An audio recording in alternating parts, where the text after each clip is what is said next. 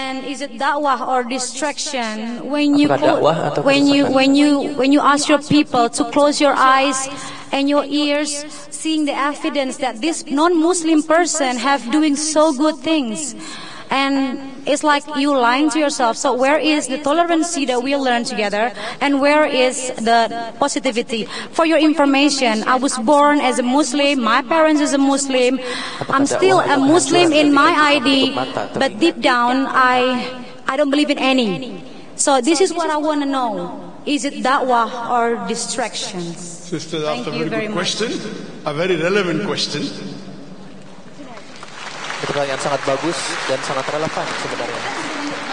She asked, is it dawa or destruction? Dia bertanya, The meaning, the summary of my talk is that the Muslims should convey the message of peace and the religion of peace to others, otherwise they will be destroyed. That means you as a Muslim, if you do not convey the message of peace, you will be destroyed. So you have two options. Either convey the message.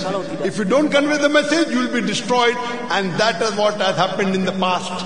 And I give you examples. dan ini telah terjadi di masa lalu. Coming to me, that I am telling that you, a Muslim should not vote a non-Muslim even if he has done good work, like building, building, Saya nyatakan kepada Anda bahwa seorang muslim tidak boleh memilih non-muslim. Can you give any other Walaupun example what good work he has done, sister? Give the Dia microphone to her. membangun Sister, what good work has infrastruktur yang baik. Christian done? Can you name? Mohon yeah, like for beritahu example, pada saya, the previous previous kebaikan-kebaikan leader really apa yang dilakukan oleh leader. Talk about this one. Okay, orang so ini. this one is like not just about the building is changing, but we can see that his uh, being honest, and you can see Dia that tidak hanya membangun the change of the country tapi is really magnificent, Don't so much use, different. Don't use word magnificent. Tell me building. Okay, one. He The- got buildings done. one Yes, example. correct. Mohon Building, and then he helped a lot of kata poverty. biasa saja. poverty. Yes. Tapi yang lebih konkret. Yeah, things. poverty, and then he also like uh, giving Dia a lot of um, kemiskinan. what did you call that? A place for praying for Muslims people. Dan dia juga say. membangun more and more and more. praying tempat-tempat untuk praying himself. beribadah Hypocrite. kepada muslim. Hypocrite. Dia membangun tempat ibadah untuk muslim, tapi dia sendiri tidak sholat.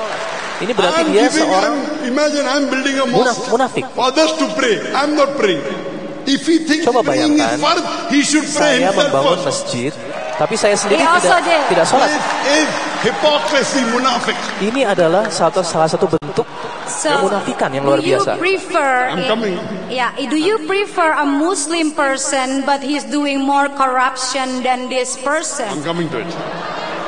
Sister, I'm sorry, Wait, I wait, wait, disappoint wait, you wait. all Mohon with my question. no, no, no, no. We, we have to reply. Kita harus menjawab, saudara- saudari kita. Dia mengatakan bahwa dia lahir di keluarga muslim, namun hatinya beralih dari Islam. Tapi tidak ada yang one, you said he memberitahu built dia. building, he removed Insya Allah all, saya akan maybe wealth. menyampaikan Islam yang Sister, sesungguhnya kepada anda. first I told you that he built mosque, but what is the use of his building mosque Pertama, to others? saya nyatakan bahwa I give the dia answer. membuat Regarding masjid. building Tapi apa artinya ketika dia sendiri do tidak you sholat? think the purpose of our life, you heard my lecture? What Allah says, what our Creator says in the Quran in Surah Al-Asr, wealth will not get you success. Building will not get you success. Allah Subhanahu wa taala nyatakan di dalam Quran will bahwa kesuksesan The road you build will bukan not get you success. What will membangun gedung-gedung, bukan membangun jalan-jalan. Will Bukan itu yang dinamakan sukses yang sesungguhnya. Apa will sukses yang sebenarnya? Sukses yang sebenarnya adalah iman, Iman. adalah keyakinan. Does the person have iman? Apakah orang tersebut Yes no? yang Anda bicarakan memiliki iman? Does he have iman? Apakah Your dia memiliki candidate. Iman? be- he have Kandidat yang Anda in bicarakan. Does your candidate to the non-Muslim have iman?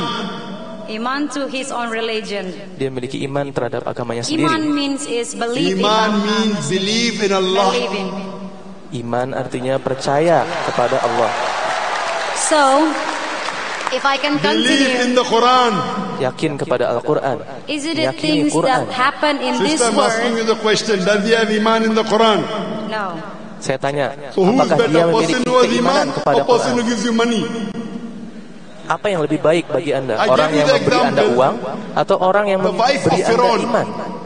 She was the Saya wife memberi of the contoh. richest man in the world.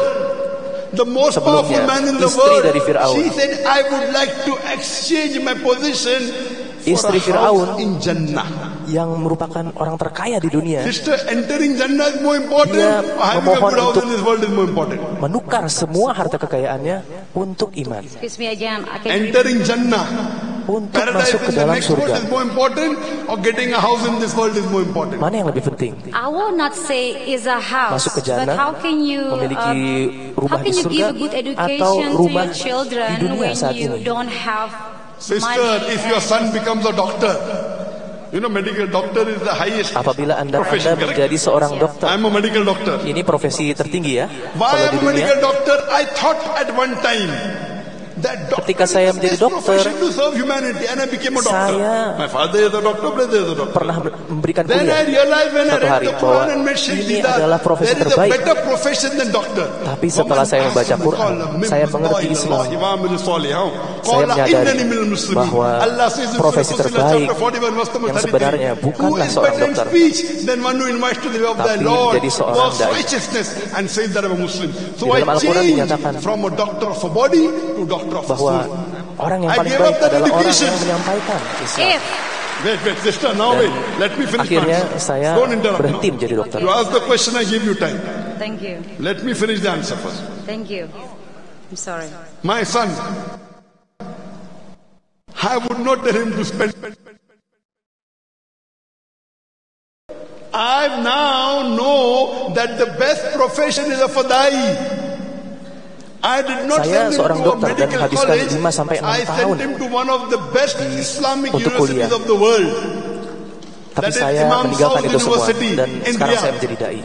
And I came to know yesterday that your governor of West Java, Brother Ahmed, even he's passed from the same university, Imam South. According to me, Imam Muhammad Anak bin saya Saud University is one of the best Islamic universities of the world. Islamic University Imam Saud. What you have to realize Dan is itu for Muslim, universitas terbaik di dunia saat ini menurut saya. Yang ternyata Gubernur Jawa Barat pun. Pak Surah Pak Ma'idah chapter 5 Kang verse Aher ini 51. berasal dari sana Our juga. Creator Allah subhanahu wa ta'ala is telling that let not the believers Allah Subhanahu wa Ta'ala friends menyatakan bahwa Jangan take sampai orang-orang or beriman protectors or helpers, Jews or Christians. menjadikan non-muslim sebagai aulia.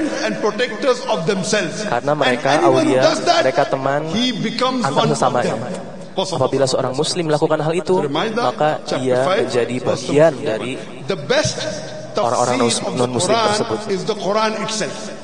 If you want to understand the Quran, best is the tafsir Jika. Anda ingin mengerti Quran, maka tafsir terbaik atau cara mengerti paling baik itu ada di dalam Al-Quran sendiri.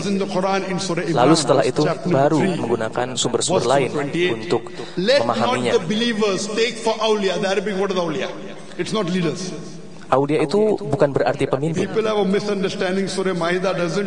Banyak orang-orang yang salah paham akan surat Al-Ma'idah. Tidak spesifik pemimpin, tapi termasuk termasuk pemimpin. Don't take as awliya. Jangan mengambil aulia teman-teman.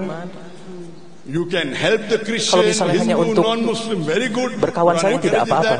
Saling membantu. lakukan dakwah kepada mereka. Al-Maidah tidak menyatakan untuk tidak berbuat baik kepada mereka, tapi untuk memohon perlindungan.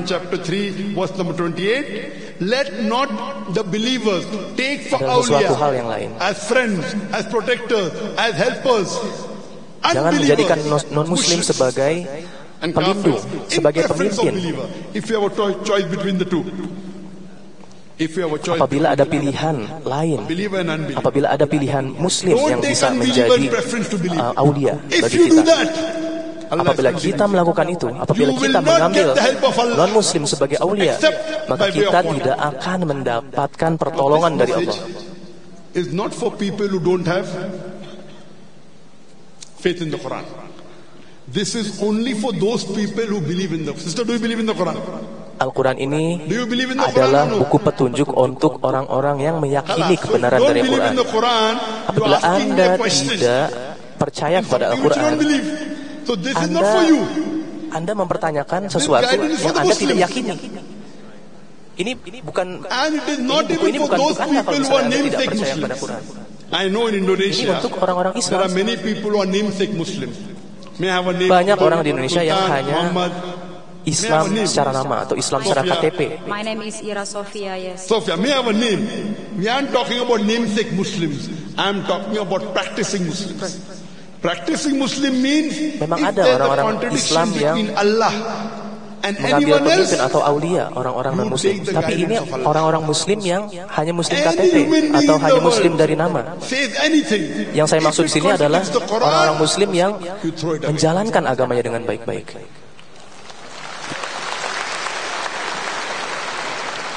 Let it be a millionaire.